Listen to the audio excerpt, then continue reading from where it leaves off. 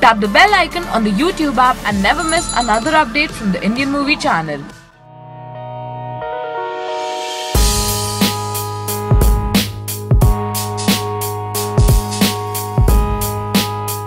Happy that uh, the Dubai Land Department has invited me here today for the Dubai uh, Land Tycoon Awards, Real Estate Tycoon Awards. I think it's a it's wonderful to see a room full of enterprising people who've established and achieved uh, such landmarks in their uh, business and um, uh, we know all of us know how many Indians live in Dubai and have their homes away from home. And it's really nice to see how many Indians have succeeded in Dubai in business. So it's been a wonderful evening.